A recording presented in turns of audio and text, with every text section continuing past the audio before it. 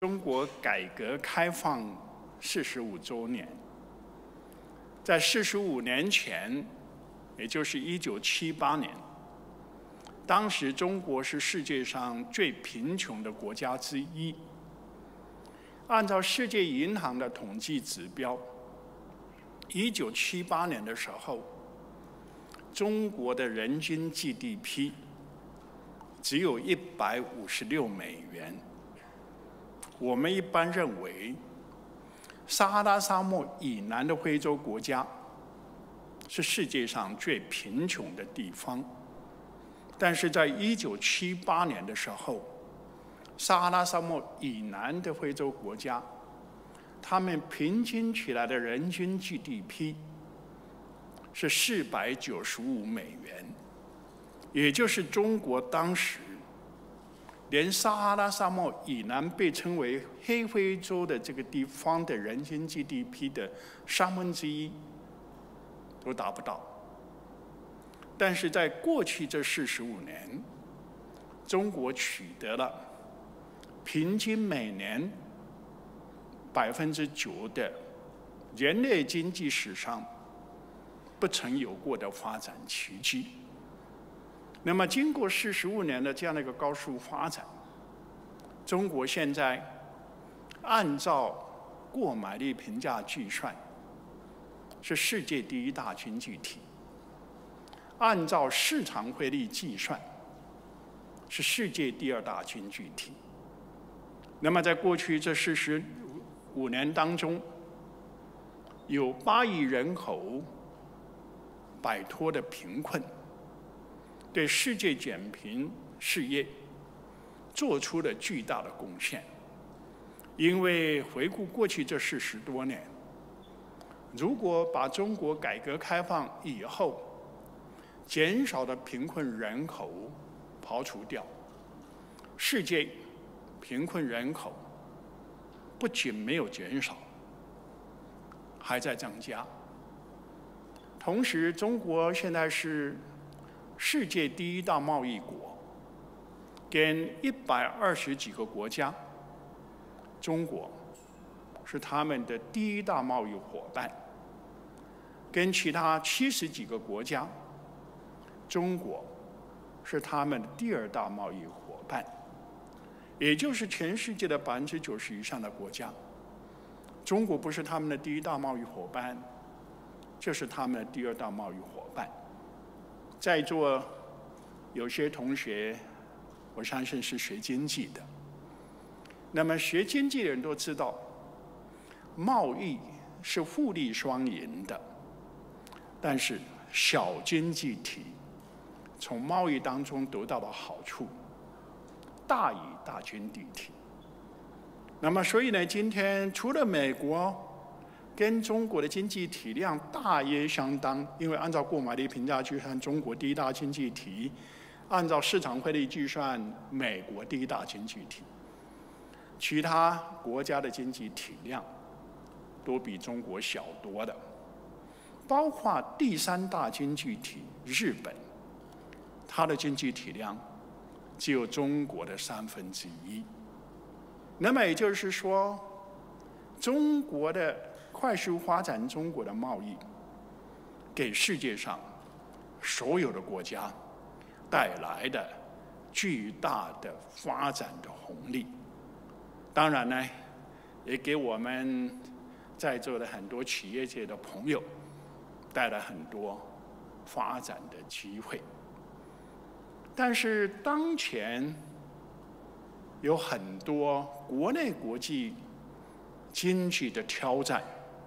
那我相信呢，大家都知道，比如说，最近美国不断的出台各种政策来打压中国，那么这老大跟老二的这种争端，给世界带来了很多不确定性，也给企业界带来了不确定性，也给同学们未来的工作。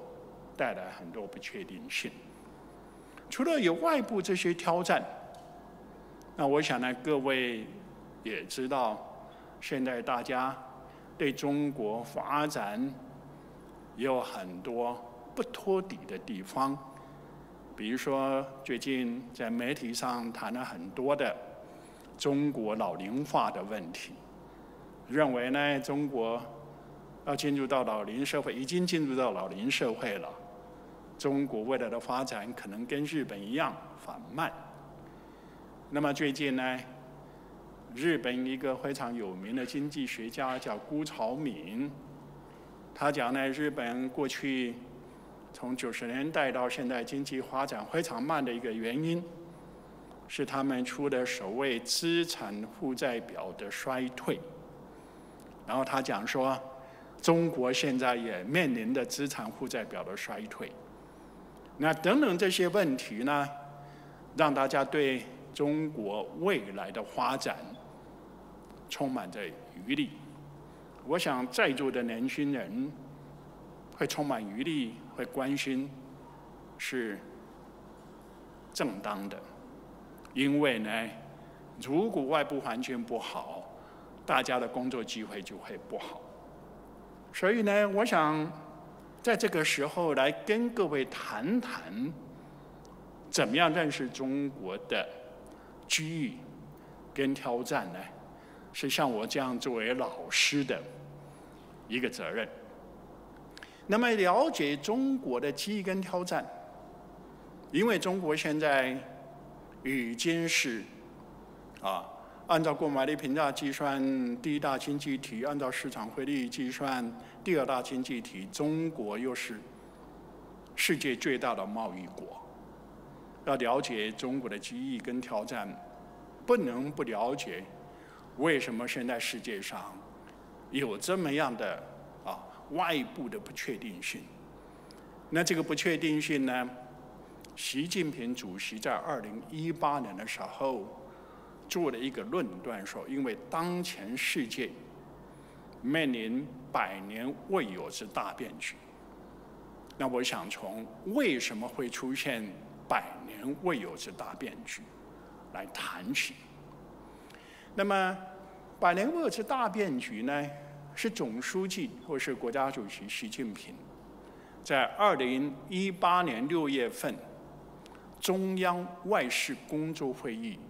提出来的一个判断。那么，不同的学者会对总书记的这个论断有不同的解释。那一方面，我是经济学家；二方面，经济是基础。所以呢，我就想从世界经济格局的变化来谈谈世界上。为什么出现了百年未有之大变局？这个大变局对中国的意义是什么？中国怎么样来应对这个变局谈取？那么，如果讲百年的话，我想让我们想到的第一个是一九零零年，啊，那一九零零年的时候，世界上出现了一件大事。就是八国联军攻打北京，啊，这是一个世界上的大事。那这八国是哪八国呢？是英国、美国、法国、德国、意大利、日本、俄国，加上一个叫奥匈帝国。他们这个八个国家为什么组成联军，千里迢迢、万里迢迢来攻打北京？因为他们是当时世界上的列强。那么，如果跟他们有不同的意见，解决不了，是列强吗？那就派军队去征服，所以就组织了八个联军。但他们为什么是列强呢？因为。他们当时是世界上最发达的、收入水平最高的国家，因为打仗是要钱的，没有钱是打不起仗的。那他们是世界上最富有的国家，怎么来衡量呢？按照购买力评价计算，这八个国家他们的 GDP 总量、他们的国民生产总量。占到全世界的百分之五十点四，也就是世界的一半 GDP，就这八个国家生产的，这八个国家拥有，他们非常富有。那百年大百年未有之变局，我们再看一百年之后，一百年之后，那就是两千年了。在两千年的时候，当时世界上有一个八国集团。我想各位都还记得 G8 八国集团。那这八国是哪八国呢？是美国、英国、德国、法国、意大利、日本、俄国。这跟八国联军全面驱国完全一样，没有变化，只换了一个国家——奥匈帝国，被加拿大取代的。那奥匈帝国为什么被加拿大取代呢？我想各位读历史知道，一次世界大战以后，奥匈帝国崩溃了，分裂成奥地利、匈牙利，还有东欧的一些领土变成斯洛瓦克几个国家。那么由于他的国家崩溃的，经济体量就小了，影响力就小了。就退出的列强的行列，那加拿大就取而代之。那这八个国家为什么要组成八国集团呢？同样，是因为他们经济上面的强盛。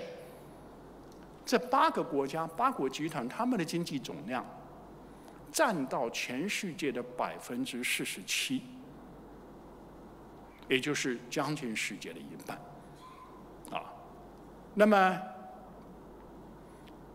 啊，也就是说，整个一百年，全世界的经济格局基本没有变化，因为前面八个国家加起来，一九零零年百分之五十点四，两千年的百分之四十七，啊，他们都占了将世界的一半左右。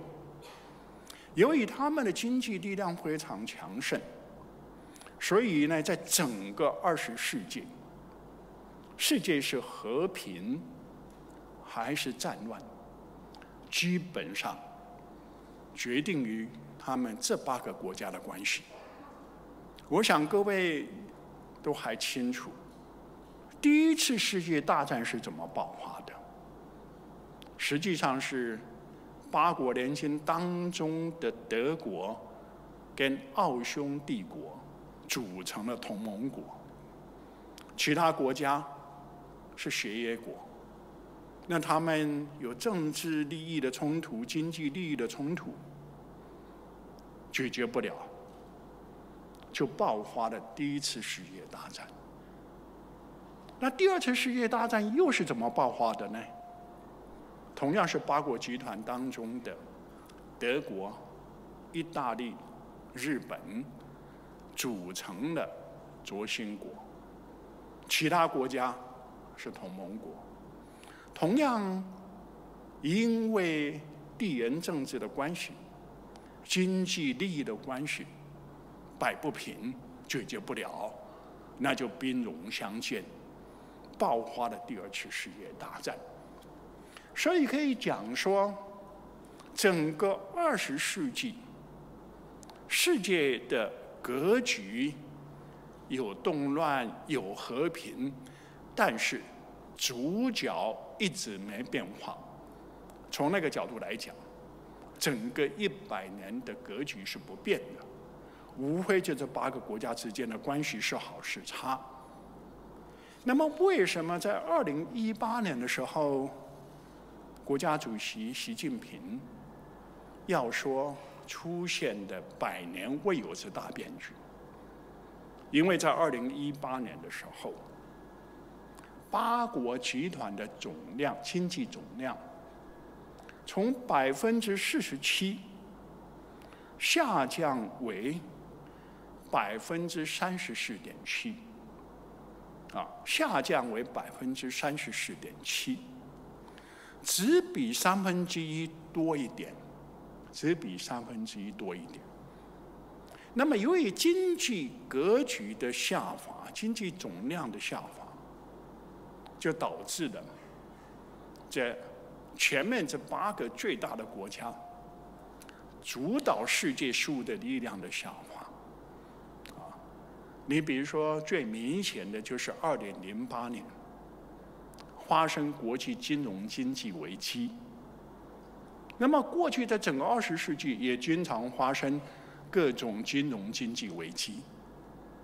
以前发生这种金融经济危机的时候，无非就是全面最大的这八个国家的领导人坐下来开个会，那么决定呢怎么应对这场危机。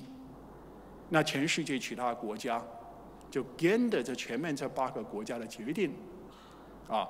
来执行，那这个危机呢，就靠这样来应对。但是在二零零八年这场危机爆发以后，八国集团发现无能为力，自己来应对，因为他们的经济总量下滑了，所以啊，就由当时的美国总统小布什，在二零零八年十二月份的时候。召开的二十国集团的峰会，来共同商议怎么应对二零零八年这场国际金融经济危机，啊，那么可以讲说，啊，从二零零八年十二月份以后，主导世界格局的最重要的机构。就从八国集团变成现在的二十国集团，啊，前两天在印度召开二十国集团的峰会，啊，召开二十国集团的峰会，这是现在世界上最重要的啊，引导全世界政策走向的领导机构。那么这确实。整个二十世纪，那八个国家就一直是那八个国家，现在呢变成二十国集团来主导国际事务。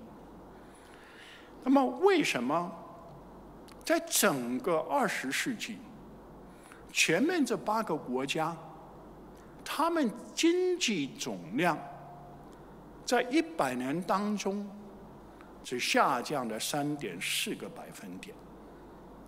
而进入到二十一世纪这么短的时间，他们的经济总量就百分之四十七下降为百分之三十四点七，下降了十二点三个百分点，这是翻天覆地的变化。为什么会发生这个变化？其实最主要的原因，就是我前面讲。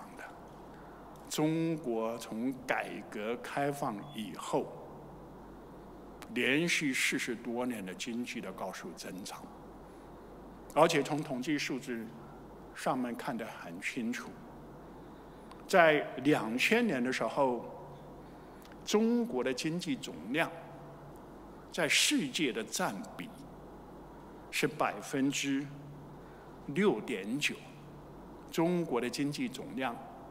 占世界的百分之六点九。到二零一八年，总书记习近平主席讲“百年未有之大变局”的时候，中国的经济总量上升为十六点八个百分点，中国增加的九点九个百分点，而八国集团下降的十二点三个百分点。含义是什么？这八国集团下降的十二点三个百分点当中，百分之八十是中国一个国家的上升带来的结果。啊，那么在这样的一个世界经济格局带来的政治格局的变化当中，哪个国家的失落感最强啊？我想可想而知，是不管是八国联军或是八国联战当中最大的经济体、最大最强的国家——美国。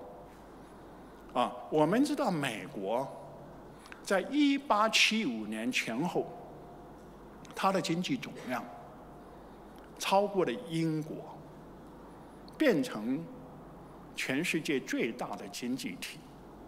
那经济是基础嘛，所以它的影响力也就最大。最明显的时候就是一次世界大战、二次世界大战。一次世界大战。我前面讲是同盟国德国二兄弟国跟协约国啊八国联军以外的其他六个国家之间的矛盾造成的。开始这个矛盾战争是在欧洲大陆，而美国最最大经济体是在美洲，隔着大西洋，所以开始的时候美国没参战。美国没参战呢，德国跟奥匈帝国的联军就横扫欧洲，把法国了、意大利这些国家全部占领了，只剩下英伦三岛。在那种状况之下，美国才参战。那美国参战了以后，因为它是最大的经济体，它呢各种战争武器啊。大炮、军舰可以源源不断的投入战场。啊，我们现在经常讲说中国的航空母舰，啊，中国的呃军舰，这个这每年造出来的就有点下饺子一样，不断的往下投。当时美国就是那种态势，而战争呢是一个消耗战。德国跟奥匈这帝国这边经济体量小。所以在战场上面被打掉了一条坦克，要补充另外一辆坦克就非常难。而美国呢，可以不断的投入战争武器，因此呢，就把德国、奥匈帝国打败了。那么可以讲说，一次世界大战到最后的决定格局是美国的参战。二次世界大战其实也是这样子的。二次世界大战开始的是德国、意大利、日本组成的轴心国。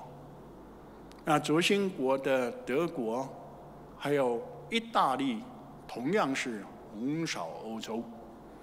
啊，那两三年前有一部非常。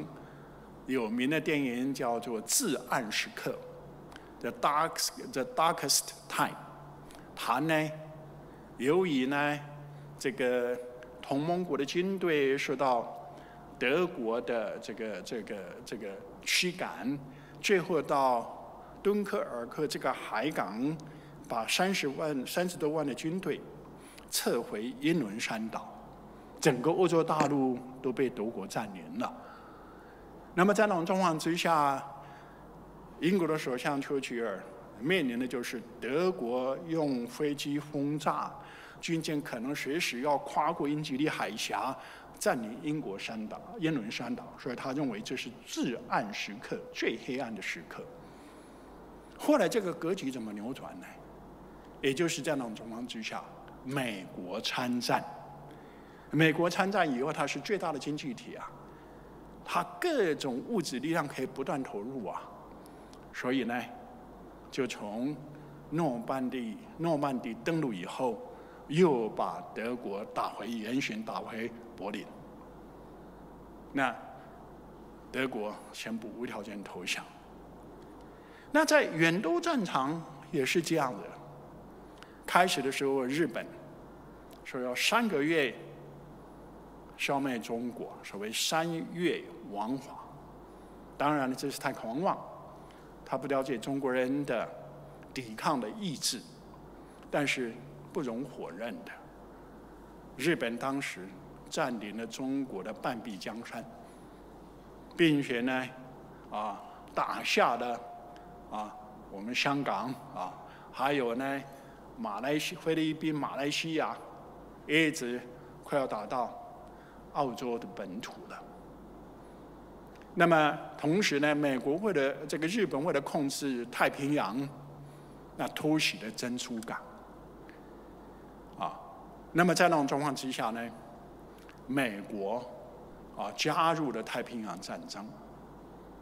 那日本偷袭珍珠港的时候，把珍珠港美国太平洋舰队的军舰集成了大概是一半，损失巨大。那么有一年多的时间，整个太平洋是日本控制的，啊，但同样的情形呢，固然美国的军舰被打打掉了一半，但美国可以不断投入军舰了，啊，然后到了太平洋战争，一般讲说中途岛是一个转折点，中途岛海战之前，日本海军控制整个太平洋。那中途岛以后转变，可是如果我们如果从战场的角度来看，日本在中途岛并没有被打败，因为美国跟日本损失的航空母舰、损失的军舰数量差不多，不分上下。但为什么说中途岛是整个太平洋战争的转折点？同样的道理。日本的军舰被打沉的一艘，就很难再补充，而美国可以不断投入航空母舰、驱逐舰等等，那就靠强大的军事力量，逐渐把日本又赶回本土，最后投下两颗原子弹，投下两颗原子弹，那宣布无条件投降。所以可以讲说，整个二十世纪，美国是主导世界格局的力量。但是呢，中国的快速发展，在二零一四年的时候，按照购买力评价计算，中国的经济规模超过美国，变成世界第一大经济体。随着中国的经济体量的提高，中国在国际上的影响力也就越来越大。前面林校长介绍，我有幸二零一二年作为第一个从发展中国家的经济学家到世界银行当第九任经首席经济学家。世界银行的首席经济学家，被认为是全世界经济学家最高的职位。在我前面的九任、呃八任担任首席经济学家，都是大师级的经济学家，而且呢，在政治上、学术上都有巨大的成就。比如说我的前任，啊，包括像。Joseph Stiglitz，他是诺贝尔奖获得者，同时也当过美国总统经济顾问会的主席，这是一个部长级的位置。还有呢，Larry Summers，当过哈佛大学的校长，啊，当过这个美国的财政部的部长，他也是当过世界银行的首席经济学家。其他的基本上啊，也是当过中央银行行长，并且在大学里面在学术上都有很大成就的。那为什么会让我作为来自中国、来自发展中国家的经济学家去占领这个历来是由在大学里面学术做出巨大贡献？又在政治上有巨大影响的学者去担任，实际上就是所谓的水涨船高。随着中国经济地位的提升，那么中国的经济学家的地位也在世界提升，那我才有机会去当世界银行的首席经济学家。那么由于中国的经济地位的提高，国际影响力的提升。在那种状况之下，美国当然是失落感最大的国家。所以从二零一四年以后，我们就可以看到中美之间的关系发生了一些新的变化。首先呢，是奥巴马总统提出啊，重返亚太 （pivotal to Asian Pacific）。所谓重返亚太，它的含义是说，要把啊美国原来部署在欧洲啊地中海的第六舰队的海军的力量，调到了亚洲来加强地区舰队，太平洋的地区舰队。那美国为什么要这么做？明显的，就是要用军事力量。围堵中国，啊，那么奥巴马之后过后也知道，特朗普当总统，开始对中国发动了贸易战、科技战，而呢这些基本上都是利用一些莫须有的借口来打压中国。目的同样是遏制中国的发展。然后现在拜登上台了，拜登上台以后，可以讲说是萧规潮水。表面上都是讲说我们并不啊啊啊阻碍中国的发展，但是呢，从这个奥巴马开始的重返亚太，军事力量围堵中国，他现在呢？要组成美国、澳洲啊，还有印度的这么一个啊军事同盟，而且呢还想把北约啊引东扩到亚洲来，用军事力量围堵中国。然后这个这个这个特朗普时代开始的贸易战，增加了关税，现在一点也没有下降啊。还有科技战啊。那不断的把中国的高科技企业列入它的实体清单，同时呢，还想用意识形态分成民主国家，中国他认为不是他们同样的啊，这个这个这个民主制度的国家，然后组成民主国家的同盟，目的都是围堵中国的发展。然后呢，这就出现了啊，美国一个学者讲的修斯底德陷阱。因为从历史上面，啊啊，最大国家跟第二新兴国家之间，新兴国家要取代最大的国家，历史上呢发生过十五次，当中有十次是以战争来结束，然后两败俱伤。那中美两国现在是世界上第一大经济体、第二大经济体。那他们两个之间的矛盾冲突，如果爆发成战争，那它影响的就不是这两个国家，它就给全世界带来的各种挑战、各种不确定性。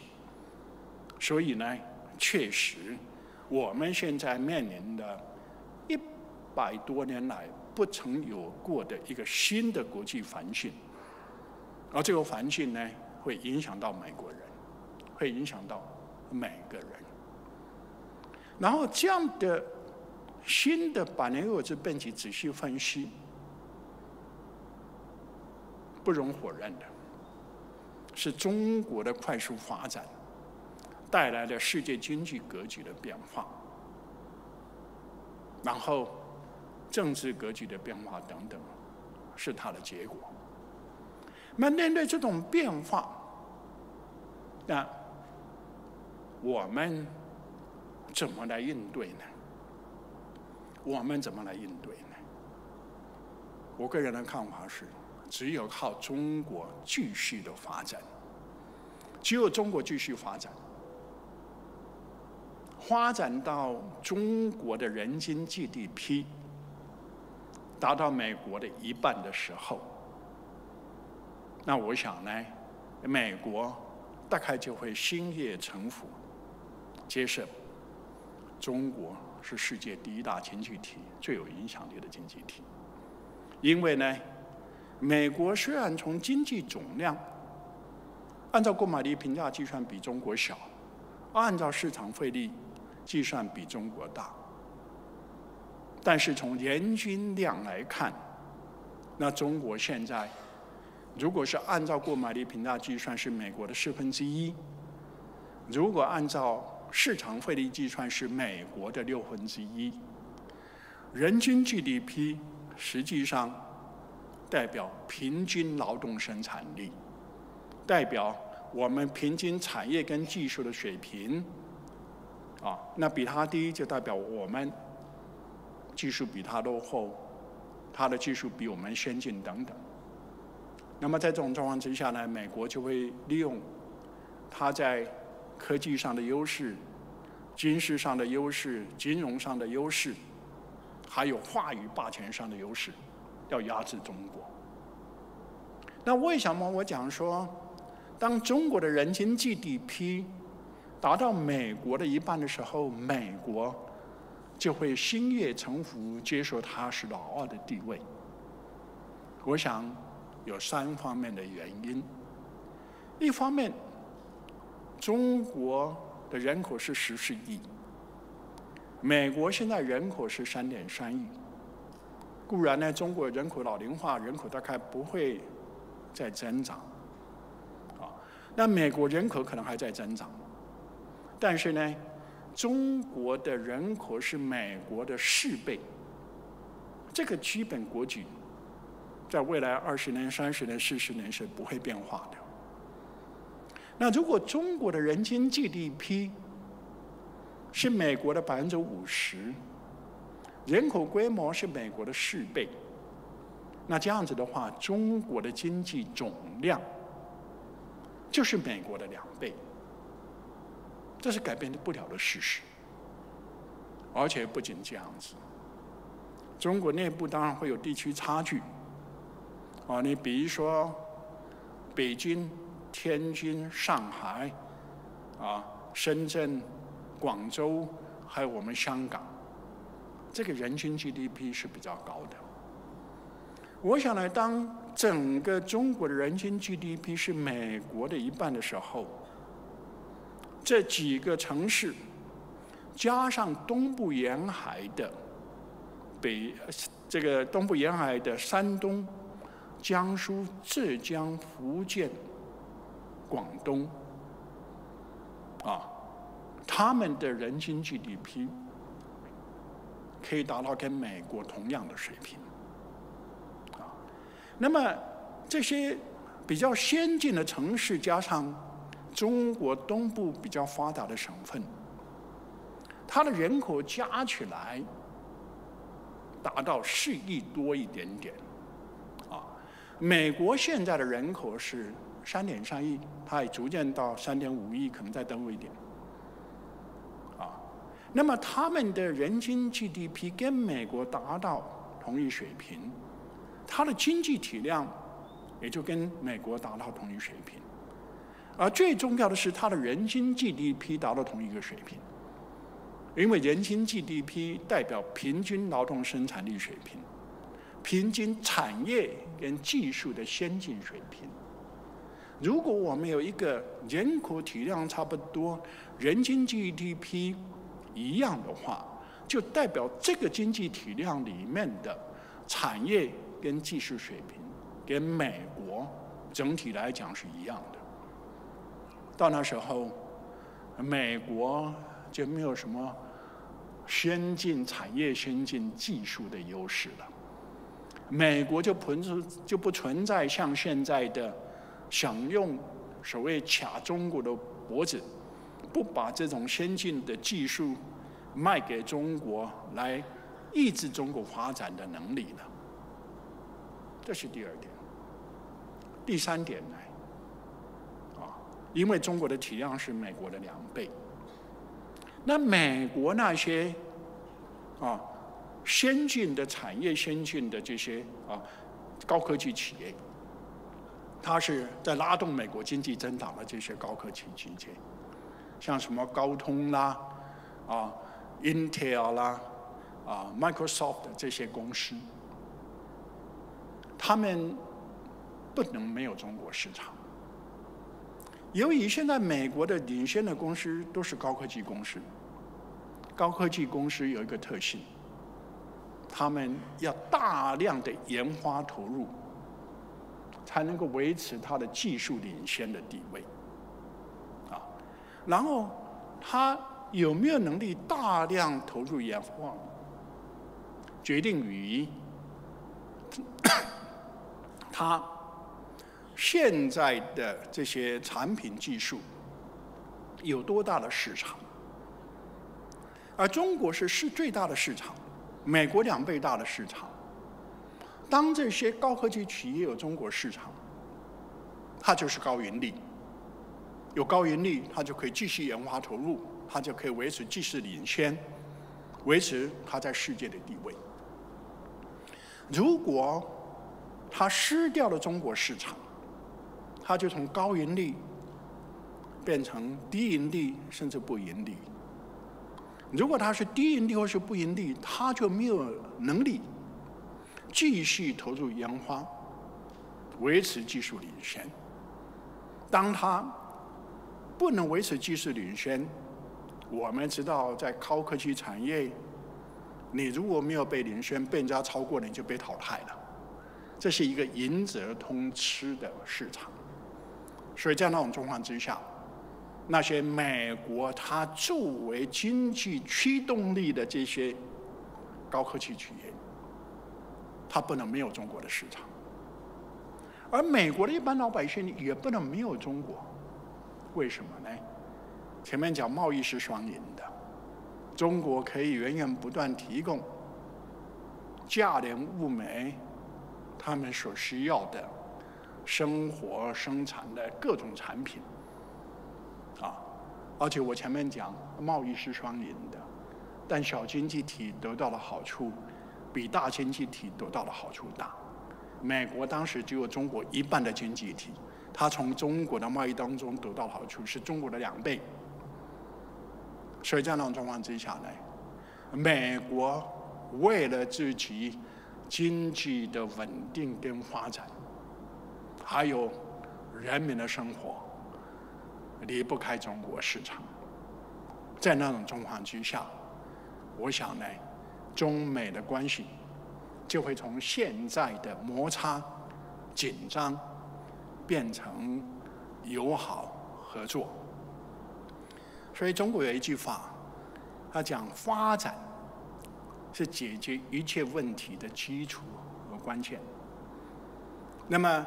我们现在面临世界百年未有之大变局，对中国带来很多外部的挑战，出现了现在大家关心的所谓修斯底德陷阱，但怎么样超越这个陷阱？其实关键点还是在于中国的继续发展。如果中国能够从现在，人均 GDP 按照购买力评价计算是美国的啊四分之一，变成美国的百分之五十。按照市场汇率计算，现在是美国的六分之一，变成美国的百分之五十。啊，现在呢，按照市场汇率计算跟按照市场按照购买力评价计算有差距。有不同，一个四分之一，一个六分之一。但是呢，当中国的收入水平达到美国的一半的时候，那时候市场汇率计算跟购买力评价计算基本是一样，这也是经济学的规律。收入水平低的时候，按照市场按照购买力评价计算的 GDP 会高，啊，按照市场汇率计算的 GDP 会低。但是你收入水平高了以后，这两个计算基本是差不多，啊，那么无论怎么样，要中国继续发展，达到呢人均 GDP 美国一半的时候，我想这个世界经济的格局就会走出当前的百年未有之大变局，然后呢出现到一个新的和平的啊这个稳定的格局。那么，发展对中国应对来自外部的这个挑战这么重要，但中国还能不能继续高速发展？啊，这是我们必须关心的问题。但要回答中国是不是能够继续高速发展，那先要先了解发展的根源、发展的动力是什么。我们讲发展，当然是每个人的收入水平不断提高。但要每个人的收入水平不断提高，就必须我们的劳动生产力水平不断提高。你不能只靠印钞票给人买东西啊！如果你没有生产力水平的提高，单单花钞票会带来通货膨胀，实际上能买的东西不增加的。所以呢，要提高收入水平，必须生产力水平不断提高。那怎么样才能够让生产力水平不断提高？靠的必须是现有的产业不断技术创新，用更新更好的技术。同时要有新的附加值更高的产业不断涌现，那你可以把劳动力从附加值比较低的产业配置到附加值比较高的产业，这是提高劳动生产力水平的两个最重要的办法，也是维持一个国家一个社会啊收入水平能够不断提高的办法。而这个办法呢，不管在发达国家，或是追赶的发展中国家，都是一样的。但是有一点不同，发达国家前面讲的八国联军，那些当时的列强，他们是列强，他们收入水平高，代表什么？代表他们的产业跟技术。已经在世界上最前沿，啊，那当一个国家它的产业跟技术在世界上最前沿的，已经是最好的，它的技术创新就只能自己发明，然后它的产业的附加值已经在全世界最高了，它有附加值更高的产业，同样必须自己发明。那发明我们知道，啊，它是投入非常大，风险非常高，啊，绝大部分的发明的投入是没有任何结果的。当然呢，如果他成功了以后，可以有专利，在全世界，啊，有专利保护，有垄断利润，回报会非常的高。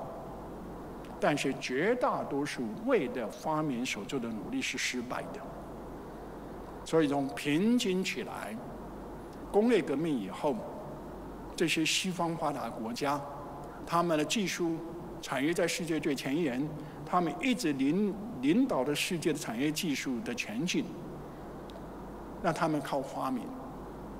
总的来讲，他们的收入水平的提高。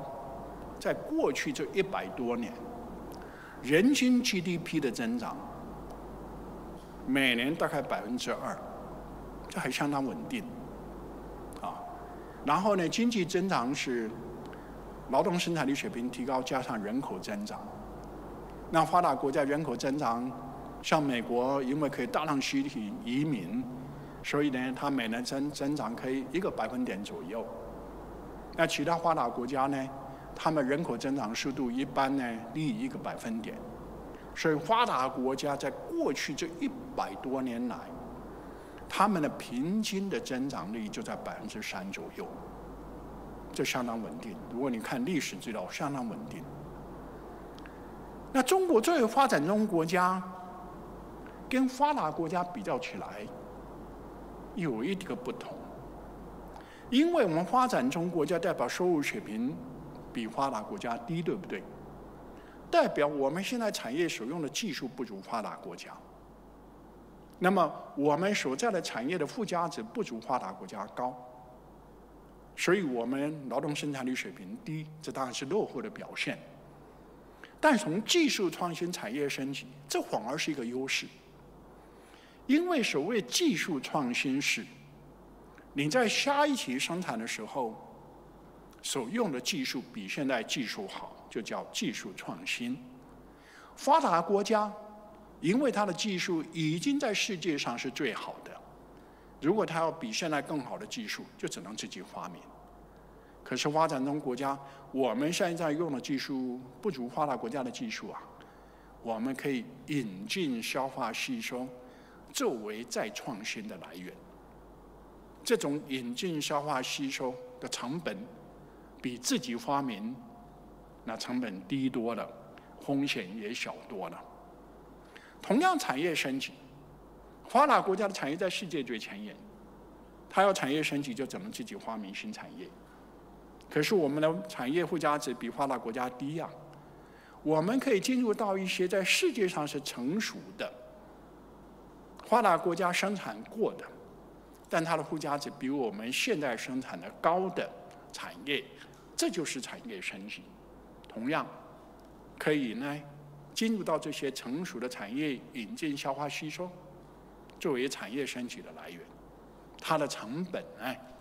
会比发达国家的成本低多了，因此从理论上来讲，如果发展中国家懂得利用跟发达国家这种产业技术的差距，作为它技术创新、产业升级的来源，那么它应该发展的速度会比发达国家快，因为它技术创新、产业升级的速度。成本跟风险比发达国家小，所以它可以比发达国家发展的快。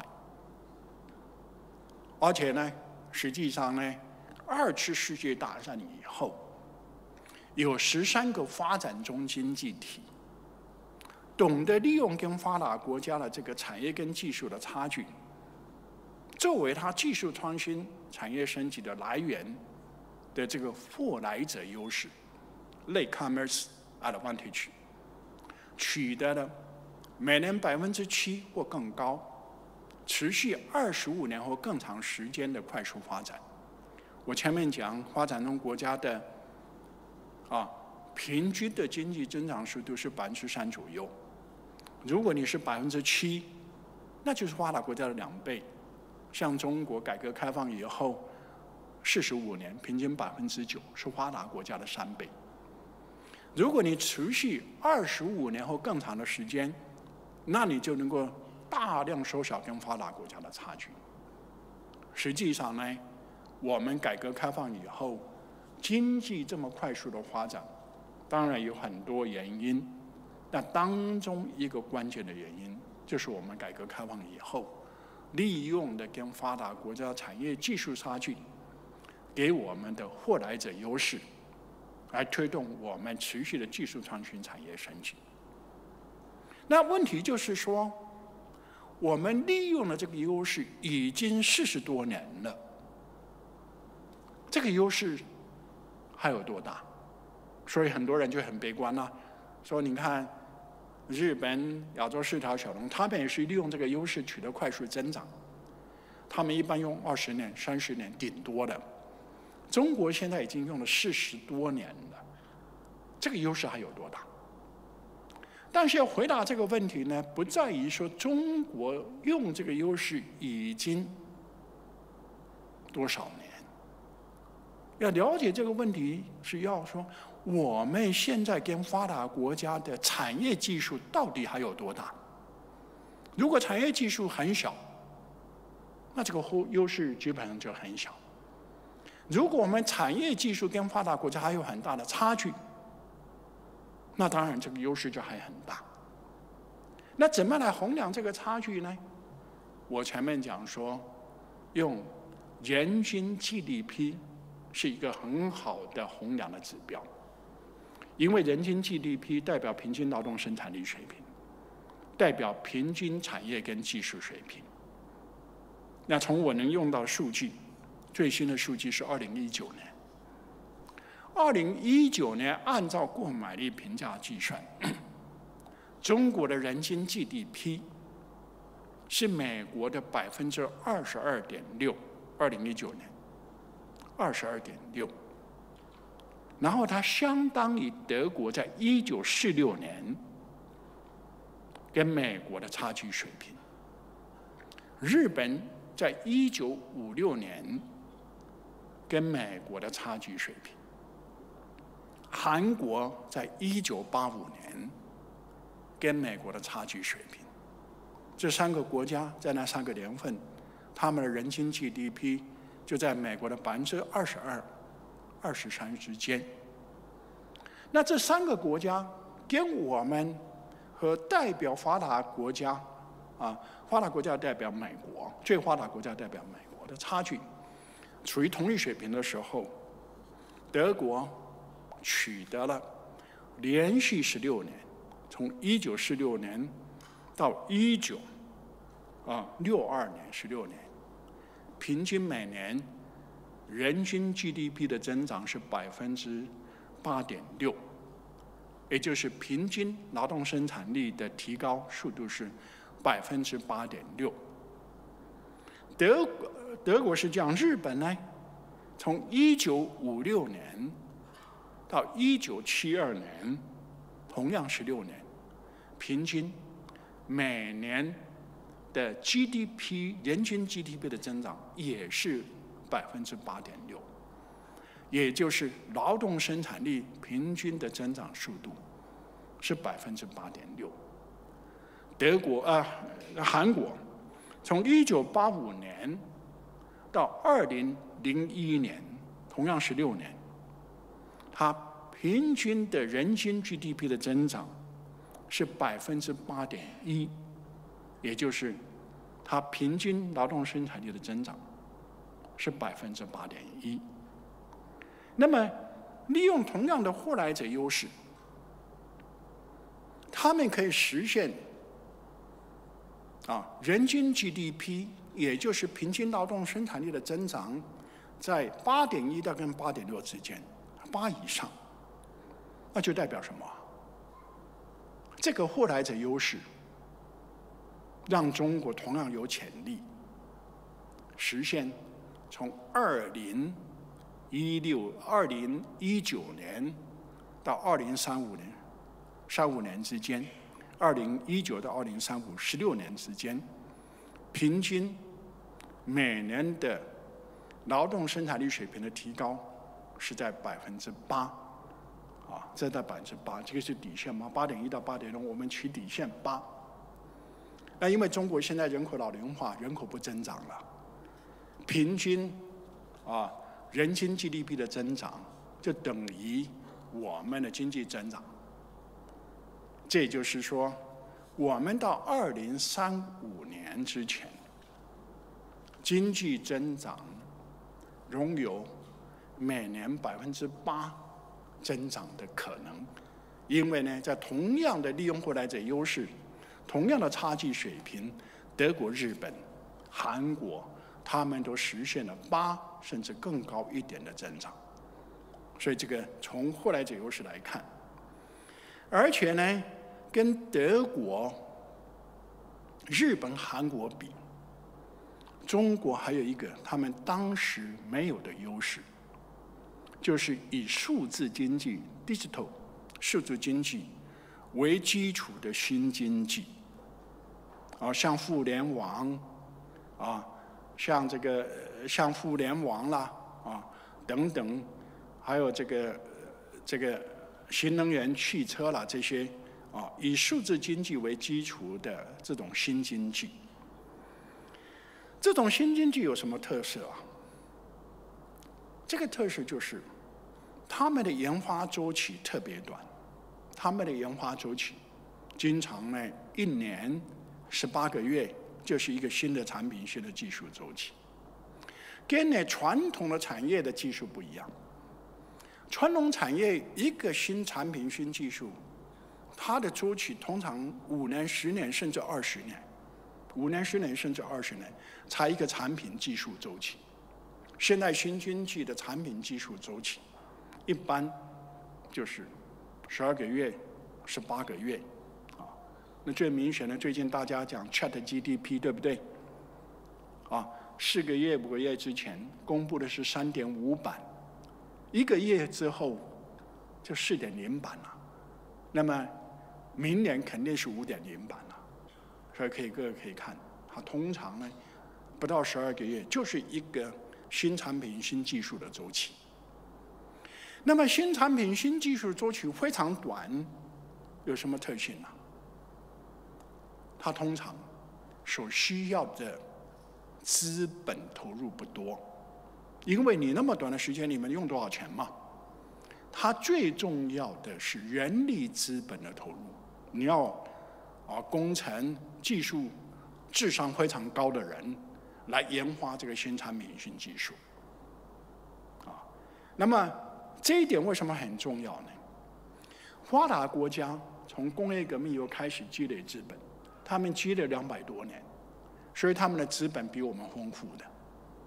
但是人力资本实际上来自两部分，一个是先天的聪明才智，先天的聪明才智，上帝是公平的。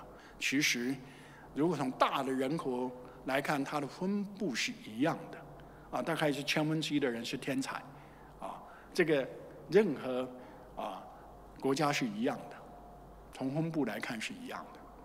第二个是 后天的教育。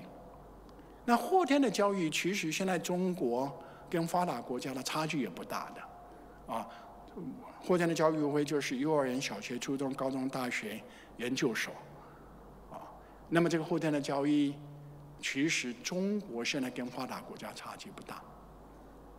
但在这种需要这个人力资本投入当中呢？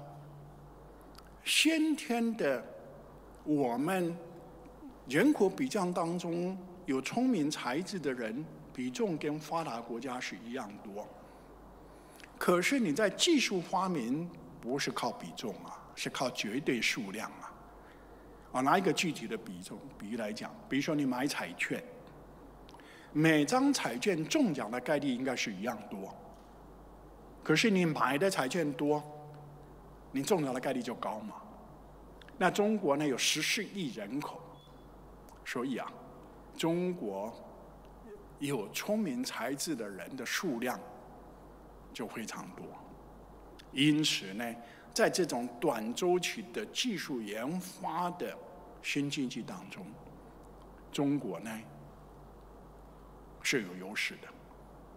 望这几天你们要是看啊抖音视频。上面有一个阿斯麦尔，这个光刻机，荷兰光刻机的老总，啊，接受采访，他去看慕尼黑的新能源汽车的展览以后接受访问，然后呢，记者就问说，美国现在要技术封锁中国，他让他评论到底好不好？他说，基本不会有效果，因为说中国人太多，聪明的人太多。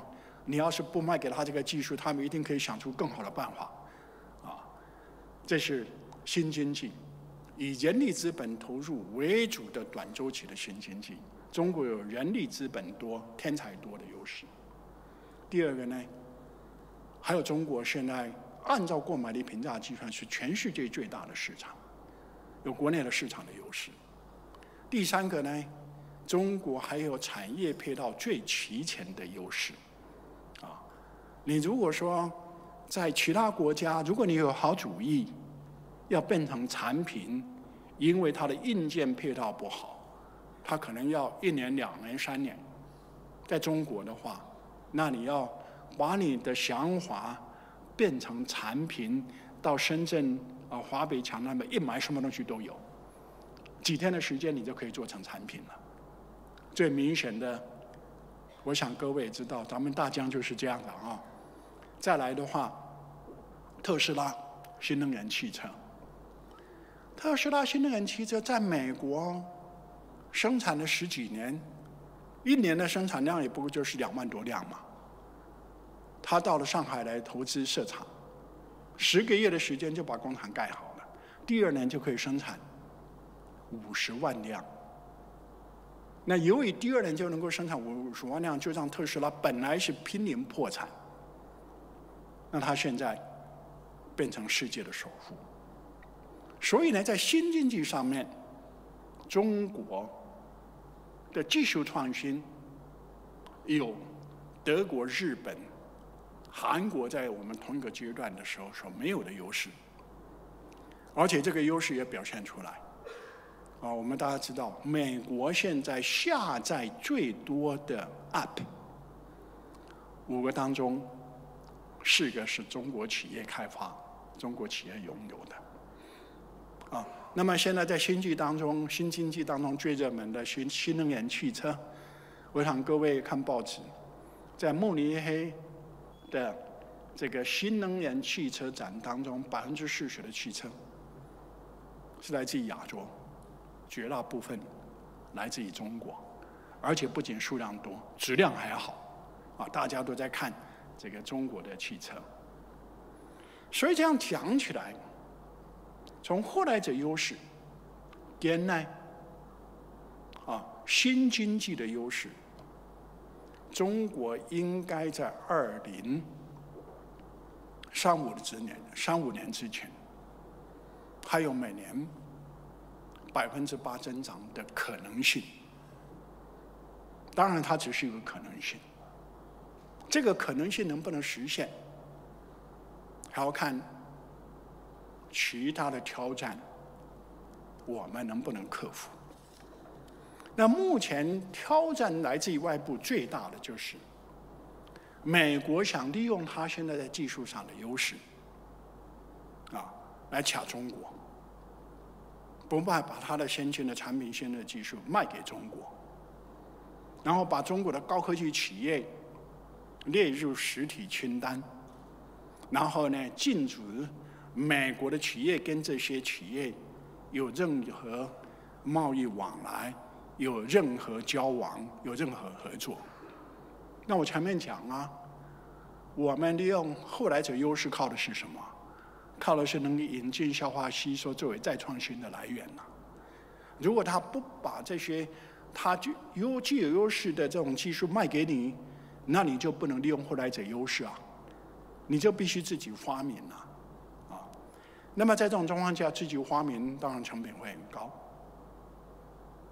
那么这样的卡脖子是美国现在所用的手段。那会不会真的让中国因为卡脖子，我们就发展不了？这是美国希望达到的目标。啊，美国希望达到的目标，比如说，第一个被列入实实体清单，第一个被卡脖子的是华为。那美国的商务部长到中国来访问，最到中国访问之前，他还说了，只要你不研发五 G。这种新技术，就把对华为的所有的制裁都取消掉，什么东西都卖给你，什么技术你都可以用，但是你就是不能研发。他这么说。然后美国现在的意图不仅是说美国的技术不卖给中国，他想把所有发达国家的技术都不卖给中国，所以他组织芯片联盟，对不对？把韩国。日本、美国还有荷兰组成一个芯片联盟，要他们把技术都不卖给中国，同时呢也，到欧洲、到其他发达国家去游说。那这样的想卡中国脖子的，会不会成功？这是我们必须关心的。过去好像美国每次做都成功。这次会不会成功？我们仔细来分析一下。现在美国能卡中国脖子的技术，不是美国政府拥有的，是这些企业拥有的。那有的是美国的企业，像高通；有些像阿斯麦是荷兰的企业。这些技术都是这些企业拥有的。那我前面也谈到。这些企业怎么拥的这拥有这个技术呢？拥有这个技术是大量的研发投入带来的成果。然后他有大量研发投入以后取得这个新技术，如果他有大的市场，他利润就高，利润高不仅是现在重要，未来也重要啊，因为他在这些高科技上面必须有不断的研发投入，能投入多少，实际上决定于他的利润水平有多高。那么在这种状况之下。美国政府要这些企业不把这些高科技的技术卖给中国，用我们常讲的话，就是政府请客，企业买单。啊，政府请客，为了达到他的维持他的霸权的地位，他出台这些政策，要这些企业来付这个成本。企业有积极性吗？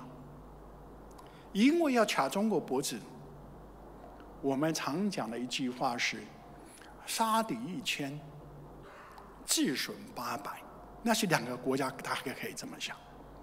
但从企业的角度来讲的话，是杀敌一千，自己至少也要损失一千呐。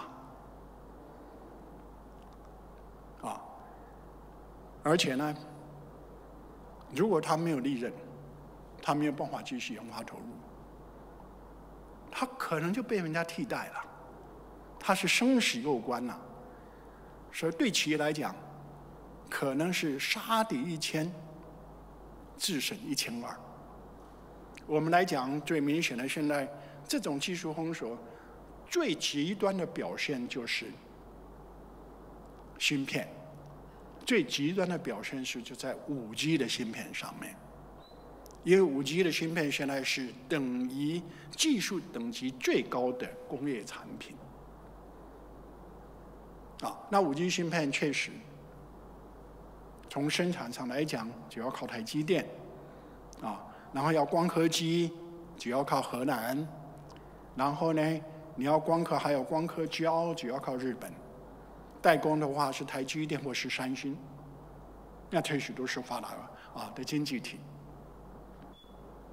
那过去我们都是跟美国买的，然后芯片当中生产手机芯片最重要的一个就是高通 Qualcomm，啊，然后 Qualcomm 本来华为的手机啊，在二零一九年都已经超过苹果手机了，在全世界最受欢迎的，比苹果手机更受欢迎的手机。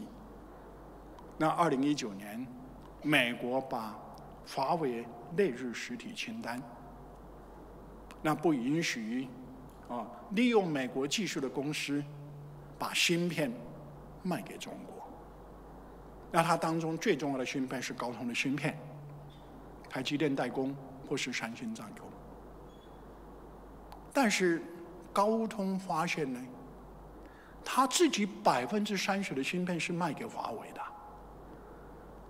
如果他不把芯片卖给华为，可能华为还没死，高通先死，因为他没利润啊，就没有办法研发投入啊。所以在那种状况之下，高通就自己到美国商务部去申请，让他能够继续把芯片卖给华为。本来是任何芯片都不能卖，后来呢，只规定五 G 芯片不能卖。所以呢，我这个用的是华为 Mate 五零 Pro，是四 G。那为什么它能生产四 G 呢？因为它可以买到高通的四 G 啊五 G 以下的任何芯片。因为它不卖给华为，它甚至百分之三十的市场，高通可能比华为先死。那华为呢，就生产的啊 Mate 这个五零 Pro。那如果美国的企业都这样子，都不太愿意执行美国的政策，其他国家的企业会有心甘情愿吗？我们讲说，对企业来讲是杀敌一千，自损一千，至少。然后美国的企业必须听美国政府的话，因为呢，他必须遵循美国的法律。但是德国的企业、日本的企业、瑞士的企业。为什么要听美国的话？他如果自损一千，换来的是什么？美国继续维持他的霸权，对他们来讲没有什么政治收益啊，只有经济收益啊。所以在这种状况之下，大家才会看到去年德国总理到中国来访问，然后带了一大批企业家到中国来访问，还要继续维持跟中国的经贸往来。今年，法国总统也到中国来访问，同样带了一大批法国的企业家到中国来，因为对他们这些企业不能没有中国市场。同时呢，欧盟的主席啊一到中国来访问，跟特跟这个马克龙一起来，来了以后呢，他回去有两个星期的时间。没有花任何，没有没有没有花任何 Twitter，Twitter。他过去呢有点跟特朗普一样，每天花了很多 Twitter，把他的想法啊跟他的选民分享。有两个星期的时间，他没讲任何一句话，他在反思，因为他过去比较支持美国的政策，认为要围堵中国。两个星期以后，他到欧盟议会发表的一个演讲，在这个演讲。他当中，他首先必须承认，中国在改革开放以后带来了经济增长，消除了贫困，给中国老百姓这个幸福的增加、福利的增加、生活的提高做了极大的贡献，也透过贸易对其他国家做了极大的贡献。他也认为说，欧盟要跟中国脱钩是不现实的，因为呢，中国。这个欧洲也不能离开中国，当然中国也不能离开欧洲。那么要关心的顶多是安全的问题，啊，安全的问题。那中国跟欧洲没有什么战略上面的矛盾冲突啊。所以如果这样分析起来的话，美国确实想利用它现在技术上的优势来卡中国。让中国，我讲经济要发展要继续不断，啊，这个这个创新产业不断升级。本来中国有很多可以用引进、消化、吸收作为技术创新的来源，那现在美国想卡住这条渠道。但是问题有多少技术美国能卡住？因为绝大多数的技术不是美国一家拥有。美国它还可以管美国的企业，但是美国它还很难管其他国家的企业。其他国家的企业为什么要为它买单呢？美国的企业为美国政府买单，到底它是美国的企业？那欧洲的企业为什么对美国买单？德国的企业、啊韩国的企业、日本企业为什么被美国采单呢？肯定不太愿意。那么这样讲起来，真正能卡中国脖子的技术应该就非常少了。如果是非常少的话，我有信心，中国今天已经到了任何技术，中国快则三年，慢则五年，绝对可以攻克。我这句话不是今天讲的啊，是美国开始想开始卡中国。脖子的那一天开始讲起掐，这个这个这个，就是说跟华为断供的时候，我做的这个论断。我说，啊，确实中国现在还有一些领域是靠国外的技术进口，但是如果能够啊贸易往来，中国可以买它的技术，对中国来讲成本低。啊，比自己生产成本低，但对对方企业也好，因为它有中国最大的市场，它可以高盈利的来源。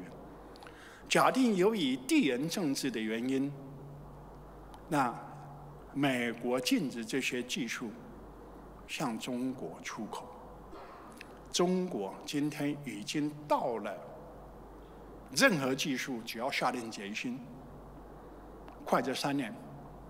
慢则五年，绝对可以克服。那是四年前讲的话啊，大家都觉得我大概是在鼓劲吧。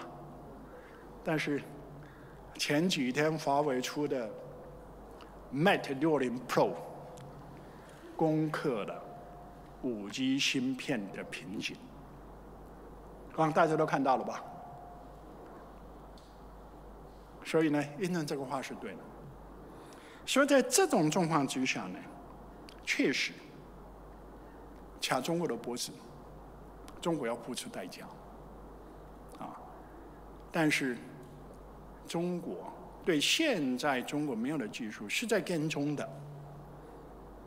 那能买的时候买是比较便宜，这就是任正非先生的啊话，也是任正非先生的聪明才智，也是中国人的聪明才智。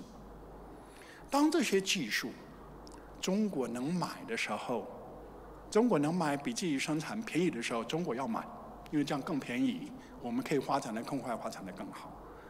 但假如买不到啊，我们应该下定决心，都能够克服。好，这是第一点。所以，巧脖子有，但也不用那么操心。而且，只要中国能生产了以后啊，从过去的经验来看，只要中国能生产，那就更便宜。更便宜以后，现有的公司基本上也就准备退出了。实际上，这是高通自己感觉到的。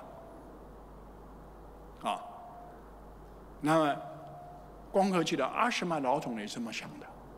他讲说，中国的聪明人太多了，最好现在还是卖给他们，省得他们去发明。他们真要发明了以后，可能我们就要退出了。这第一点卡脖子。第二点呢，最近谈的非常多。我到了香港，有很多人就问我，辜朝明先生讲的这个资产负债表衰退的问题。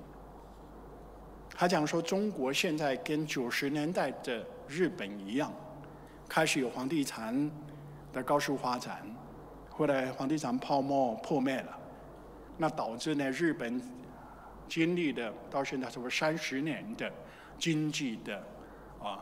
衰退。那他说，为什么会有三十年的经济衰退呢？因为啊，房地产泡沫很高的时候，大量的企业把大量钱投到房地产，家庭也把大量的钱投到房地产。然后房地产不管从建筑商、企业哦，一般生产企业，本来像索尼啊什么生产电器产品的。也去跟银行借钱去发展房地产，所以很多钱都在房地产上面。跟中国有很多企业也是这样的啊。然后家庭呢，也跟银行借了很多钱投资了房地产，但房地产价格猛跌，造成呢家庭都变成负资产拥有者，我们香港创造的词啊。然后呢，企业呢也大量负债。那么这种状况之下，他就说呢，企业呢，他赚了一点钱，他就去还银行的钱，不去搞投资。那家庭呢，负债很多，为了减少负债，都要节约来还银行的钱，这样就造成了这整个国家的投资非常少，消费非常少，投资消费都非常少，当然经济就非常疲软。这就是所谓的资产负债表的衰退。那现在呢？中国的房地产价格那么高，那很多企业把钱投到房地产，有很多银行负债。家庭呢，现在也有很多银行的房地产负债。然后房地产的价格可能会下跌，那一下跌就会出现所谓日本的资产负债表的衰退，谈的非常多，好像也有理论分析。但是他这样的一个分析，到底正确不正确？日本经济的疲软是因为企业要还还银行的欠款，家庭要还银行的欠款，造成它衰退。表面上看起来是这样子，但其实。背后，我认为更重要的原因，从我倡导的新结构经济学、新的理论分析，我觉得最重要的原因是八十年代在广场协议以后，美国强迫把日本当时在世界最领先的芯片产业，当时世界最领先的芯片产业是在日本的。然后美国当时的政策就有点像现在对华为的政策，你不能发展芯片，你必须放弃芯片。就像他跟华为讲，你不能发展五 G 手机，你必须放弃五 G 手机。当时美国的政策就是这样子的，所以呢，日本就被迫把它的芯片的产业放弃，啊，一部分转到美国去生产，二方面放弃的。新加呃不这个这个韩国跟台湾就利用那个空间进去了，他就是被美国强迫放弃那个当时是领先于美国的芯片产业，同时啊，不仅放弃了当时在世界上最领先的芯片产业，他还接受了美国的思想，政府不能利用产业政策去支持新的产业的发展。日本本来有很多产业政策去支持日本的新的产业的发展，但是呢，八十年代以后接受新自由主义的思想，认为呢政府不应该有产业政策，啊，应该让市场发挥作用，企业自己会。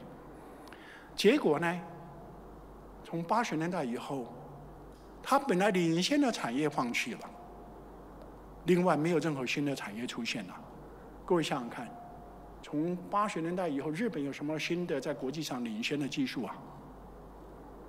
我想各位想不出来，基本没有。那么这样呢？我前面讲经济发展是靠技术不断创新，产业不断升级啊。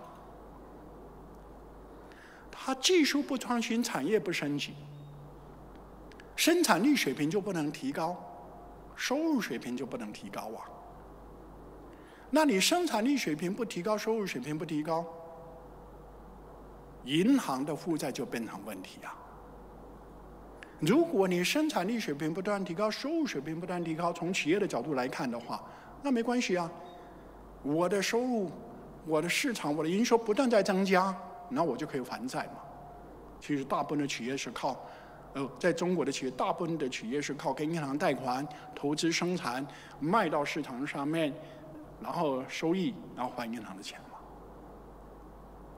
家庭的角度也是一样啊。我现在负债很多，但如果我的收入不断增长，负债多，我可以还啊，根本就不成问题啊。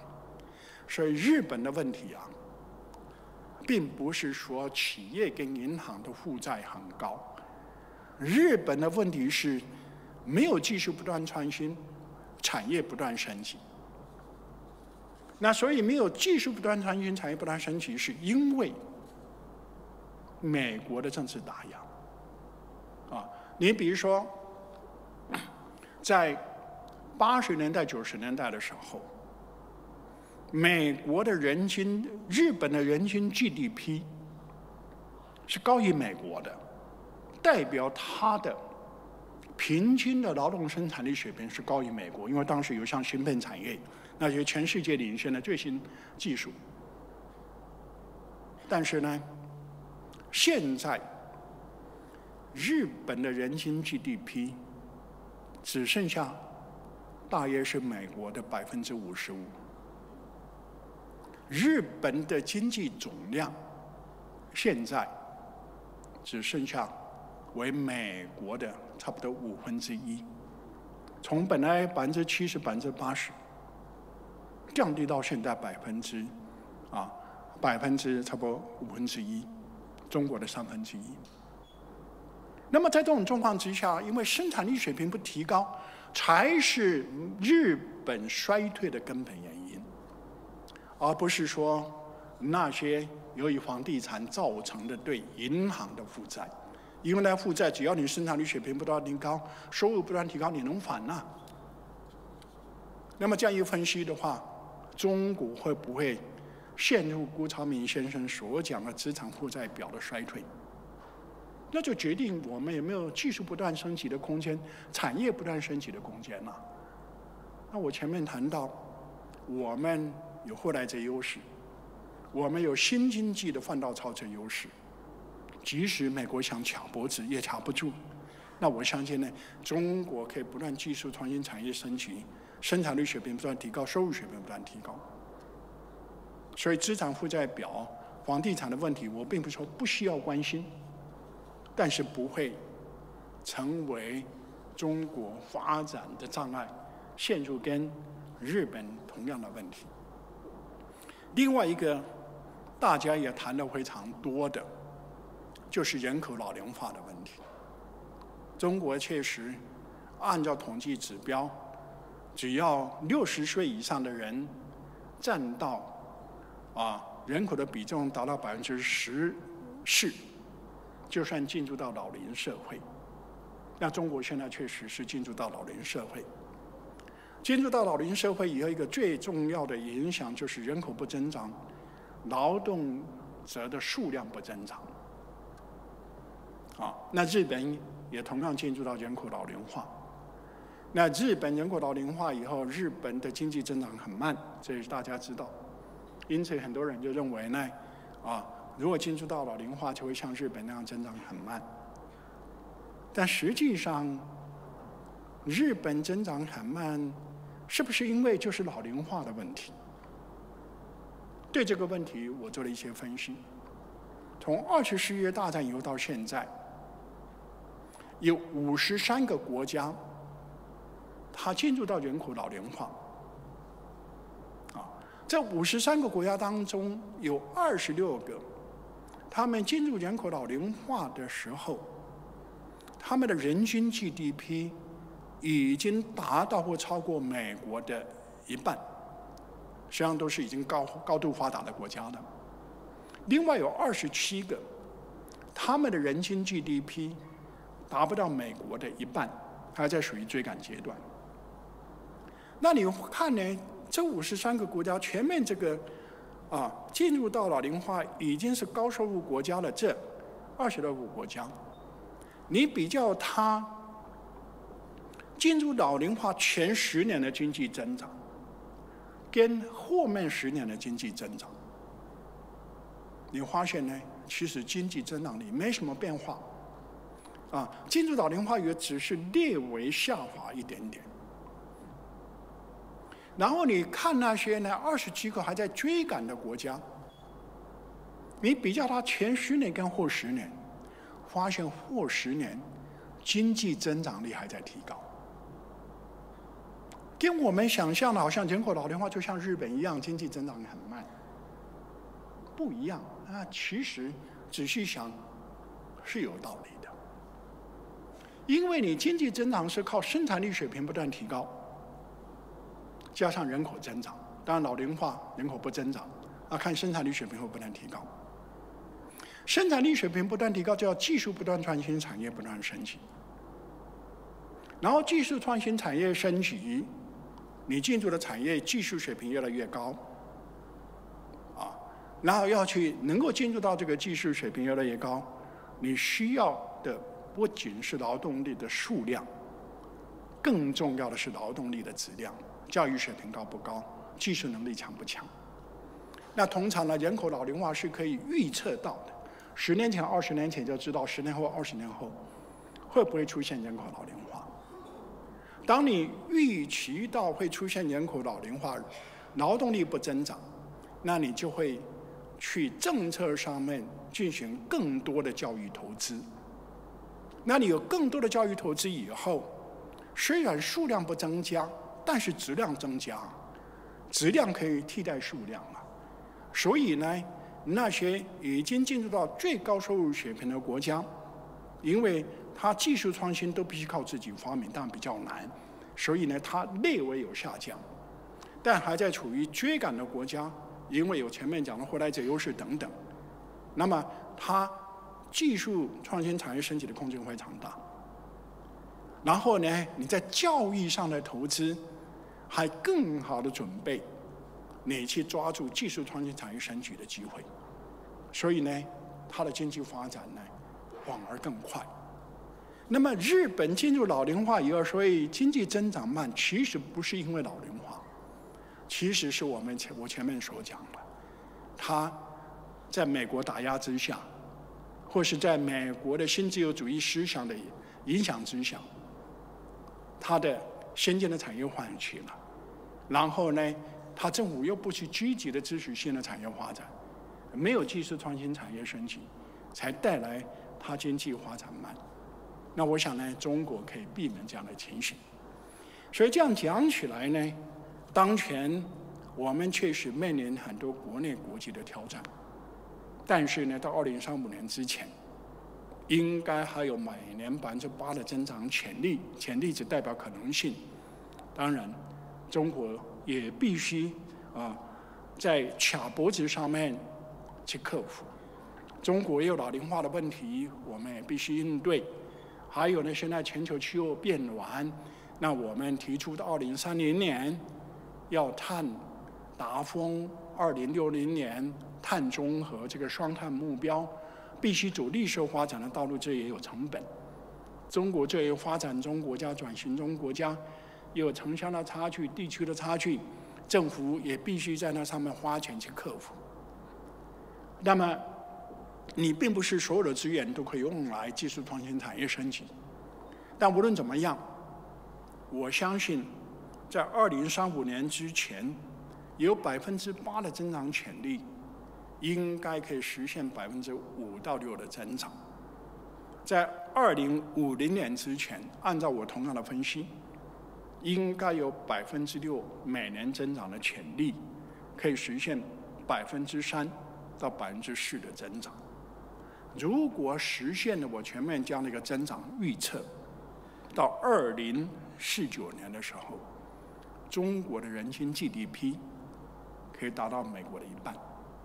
怎么计算？二零一九年中国的人均 GDP 是美国的百分之二十六、二十二点六。如果三十年后到二零四九年要达到美国的一半的话，中国每年的人均 GDP 的增长要比美国高二点七个百分点。美国人均 GDP 的增长在过去五六十年，每年大概是一点八个百分点。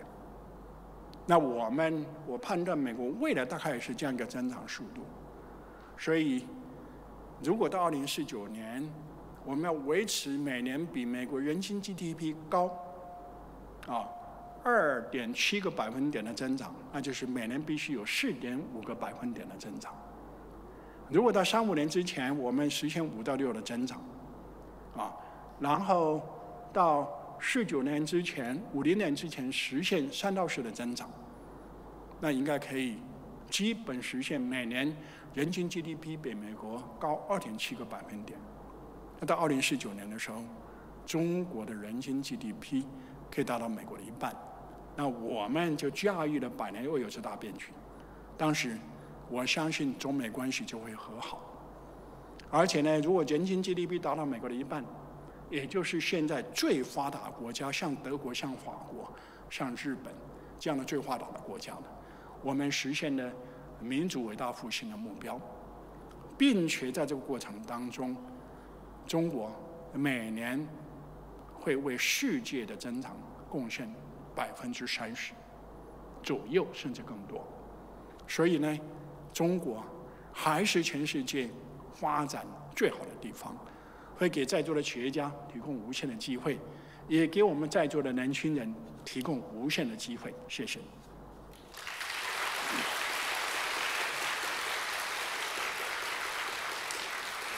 常谢谢林教授非常精彩的演讲，为我们描。林院长。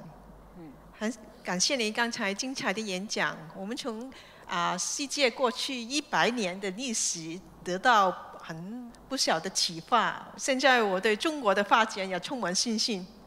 在接下来这个答会环节，我们会先邀请城市啊大学持续发展研究中心总监、公共及国际事务学习李继兰教授现作提问。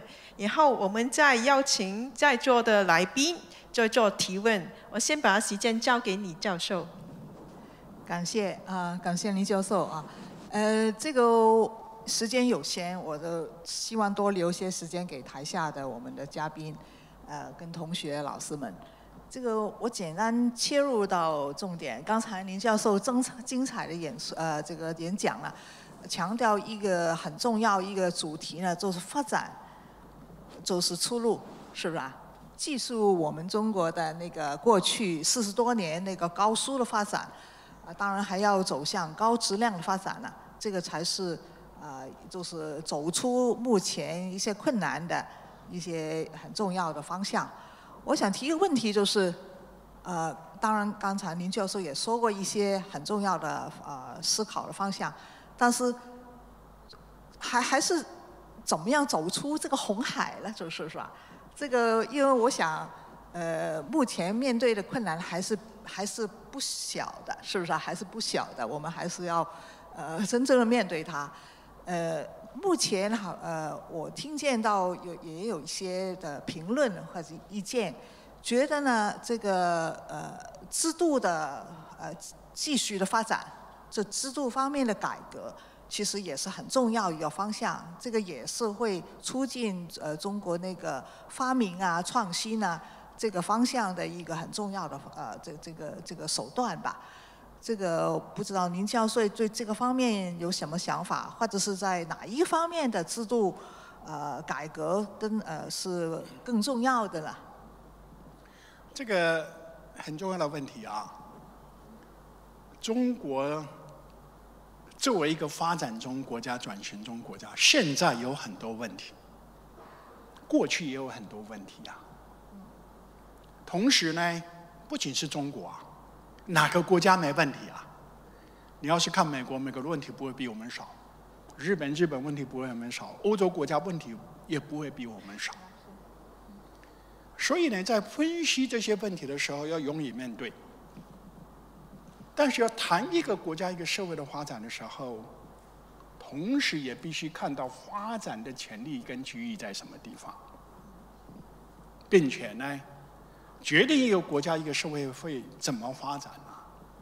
实际上是需要把发展的潜力跟机遇抓住，让这个国家社会往前走，创造更多资源，来解决存在的问题。那么这样子的话，这个国家、这个社会才能稳定跟发展。如果你只是看到问题，想去解决问题，我想出发点非常好。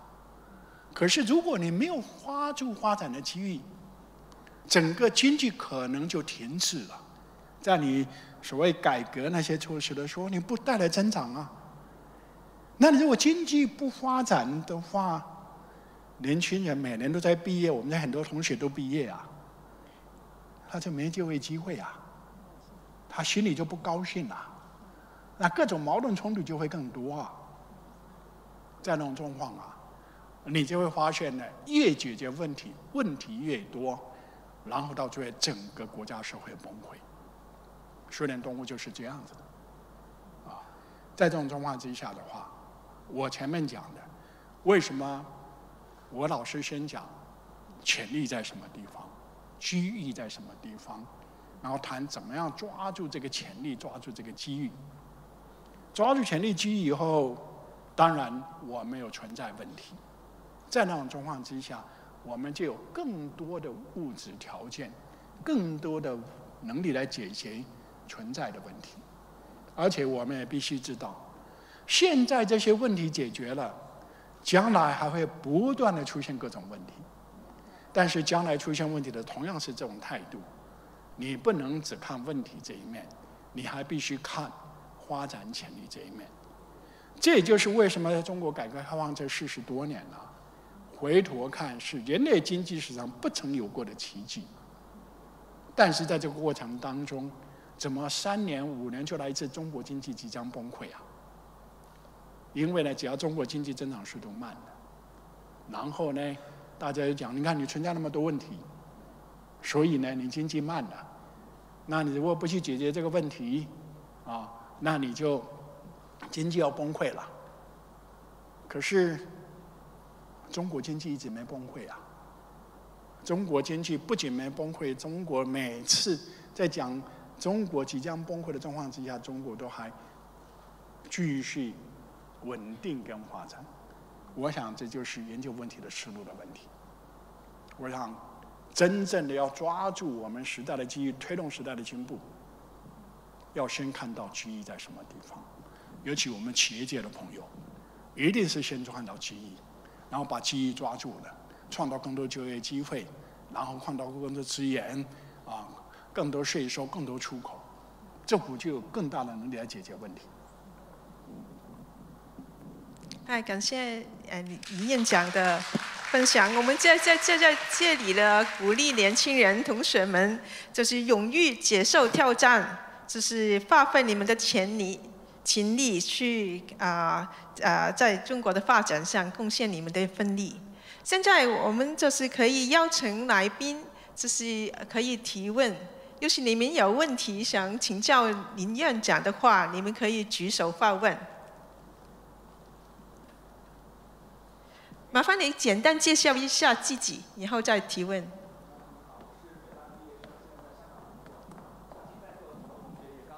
呃，会非常的关注您刚刚提到的就业问题。但其实我们也看到，从去年开始呢，富士康就开始有新闻说他在高薪的抢工。我们看到国家在发展制造业的时候也面临用工荒。我想请教您怎么看待这个当下，趁着年轻人失业率比较高，然后同时呢，在制造业又存在呃这个用工荒的这种结构性的矛盾？谢谢。啊，这个也是一个大家关心的问题啊。首先来讲，当前十六到二十五岁的。这些年轻人的失业率是比较高，但是中国总的失业率并没提高，好像在下降。这是二十五岁以后的那些人也加进来的话，失业率呢并没有提高。这第一点必须先了解清楚。第二点呢，当然我们希望呢，不仅说二十五岁以上的人的就业不错，我们也希望十六岁到二十五岁的年轻人就业会不错。那当前他们的失业率比往年高，我想有两方面的原因。我们现在经济确实面临下滑的压力，然后这个下滑的压力啊，有内部的因素，你比如说消费的信心比较不足；二方面呢，企业投资的意愿也比较低。那在这种同在这样的情形之下，中国国内的总需求就相对比较少。但除了这个之外，一个很重要的原因就是出口的增长非常的慢，啊，那出口为什么增长非常慢呢？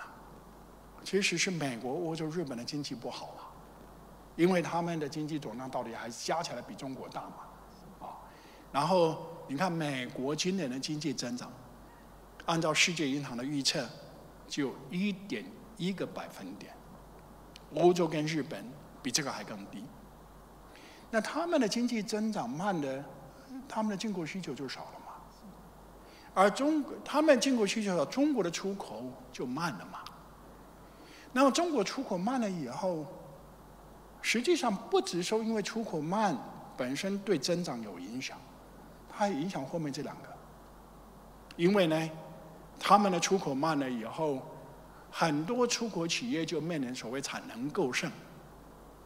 有产能过剩就不愿意投资啊，不投资就不创造新的就业机会啊。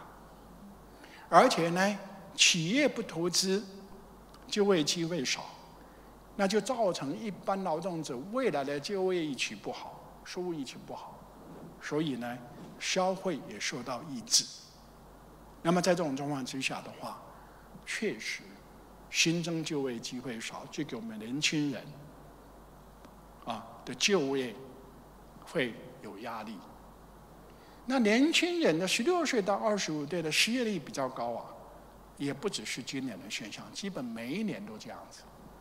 你要是五月份、六月份、七月份、八月份、九月份了，十月份了，你调查年轻人的失业率都有上升的情形。但是到了十二月份，明年一月份了，又降下来。我想这是一般大学刚毕业啊。预期会高一点，那就有很多高不成低不就的事。其实是在那个地方，我跟你讲说，二十五岁以上的人就业率怎么没下降？没没提没没没下降，还在提高啊？那些工作为什么十五岁的人不愿意去啊，他认为那个工作不太好啊，就不愿意去啊。然后过了三个月、五个月以后啊，他也会调整疫情。在这种状况之下的话，青年的失业率也会增，呃，失业率会下降，就业率会提高。所以我这两个因素都有。那目前的状况之下的话，既然了解中国现在经济增长比较疲软，是总需求不足，总需求不足最重要的根源是外需不足。在那种状况之下的话，当然政府要利用它有的政策空间，啊，一方面做一些必要的反周期的财政政策、货币政策，来支持投资，来创造就业。来增强啊消费者的信心。二方面当然也可以结合中国存在的一些问题，比如说啊这个对民营企业的政策的改革的问题，增强民营企业的信心。那么这样子的话，我相信到下半年以后，青年的就业率应该会好转。谢谢您，院长。其实我知道大家都还是意犹未尽，但是因为时间的关系，我们今天的答问环节只好停在这里。呃，我们现在再再给李院长一个最热烈的掌声，就是向李院长表达我们的感谢和敬意。好，现在我把时间交交给林林芬教授。好，谢谢两位。那有请曾教授和李教授移步台下，烦请林教授在台上。那接下来，我想邀请香港城市大学人文与社科学院院长丁呃 Walker 移步台前，向代表香港城市大学向林教授赠送礼品。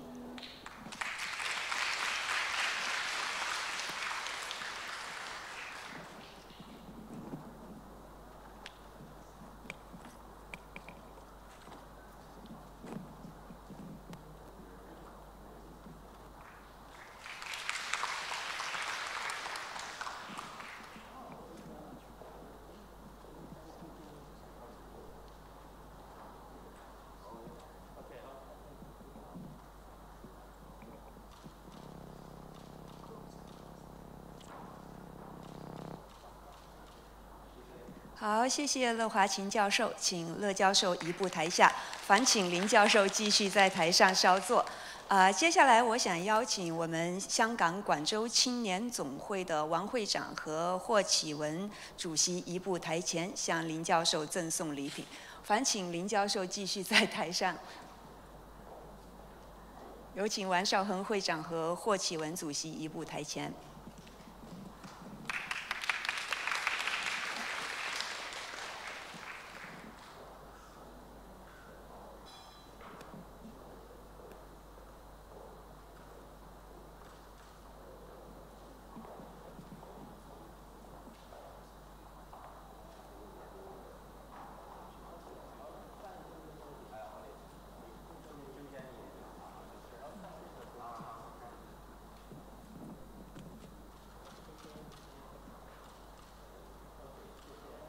好，谢谢三位。